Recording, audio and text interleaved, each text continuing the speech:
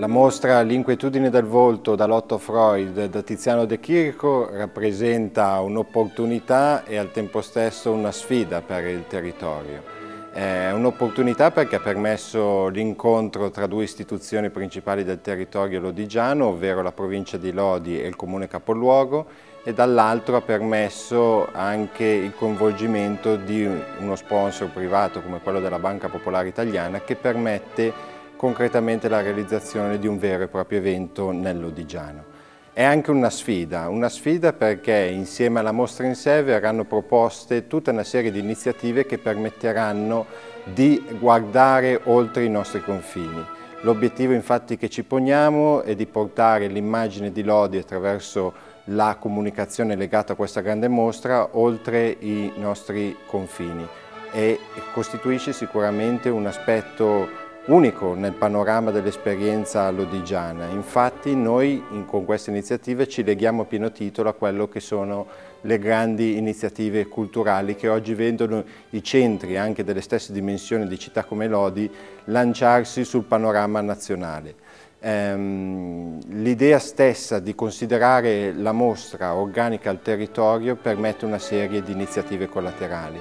Innanzitutto l'attenzione è rivolta alle scuole. Eh, l'obiettivo di questa mostra, oltre a far conoscere i grandi maestri dell'arte dal Cinquecento al Novecento, eh, è anche l'occasione giusta per i bambini per approcciarsi a un evento di questa portata e successivamente elaborare le informazioni e le emozioni che ricaveranno dalla mostra. Infatti eh, presso la sede della provincia di Lodi e quindi anche da questo punto di vista è un'occasione importante per far conoscere al territorio la nuova sede della provincia quale punto di riferimento istituzionale per il Lodigiano, verranno realizzati eh, due tipi di laboratori didattici rivolti alle scuole elementari e alle scuole medie. In uno di questi laboratori verrà affrontato il tema dell'espressione, ovvero ai bambini verranno fornite le informazioni tecniche di base per poter realizzare loro stessi un ritratto oppure un autoritratto. Nell'altro laboratorio verranno più propriamente elaborate le informazioni ricevute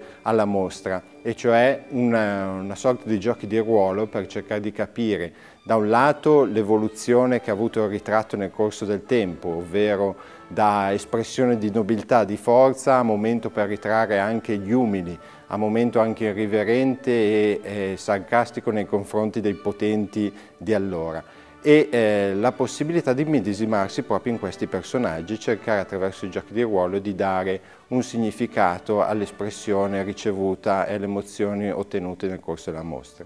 ehm, eh, l'aspetto della comunicazione verrà sicuramente a giocare un ruolo determinante. Da questo punto di vista abbiamo realizzato anche una serie di pacchetti turistici rivolti in modo particolare a diverse fasce d'età così da soddisfare le esigenze di, di tutti per permettere insieme alla visita alla mostra anche la possibilità di conoscere il territorio lodigiano nel suo complesso di fronte alle varie proposte che noi offriremo complessivamente ci sono occasioni sia per i più maturi e anche per i più giovani perché un'occasione sicuramente importante considerando anche il periodo della mostra che è quella dal 12 di novembre al 12 di febbraio, rientriamo anche nelle vacanze natalizie, quindi l'occasione per scoprire i centri culturali minori, cosiddetti rispetto alle grandi città, è un'occasione importante, anche perché si sta affermando sempre più la volontà e la voglia di conoscere anche realtà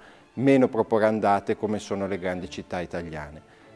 Questa sfida sicuramente può essere vinta dal territorio lodigiano. Eh, L'obiettivo di fondo è quello di coinvolgere complessivamente il territorio. L'invito è quindi rivolto in modo particolare alle realtà culturali del lodigiano. Le biblioteche, le associazioni, i comuni, nella loro espressione degli assessorati alla cultura, possono sicuramente realizzare iniziative significative, tra l'altro anche collaborando con la provincia stessa nell'organizzazione delle visite, dal momento che sono a disposizione dei cittadini tutta una serie di agevolazioni, non ultima quella collegata al biglietto stesso della mostra che permette degli sconti significativi all'interno dei ristoranti, degli esercizi commerciali convenzionati alla mostra e eh, anche attraverso i trasporti. È infatti presente una convenzione con la Line Trasporti che vi permetterà di organizzare la visita alla mostra a prezzi assolutamente convenienti. Eh, questa sfida, dicevo, è importante per tutti noi.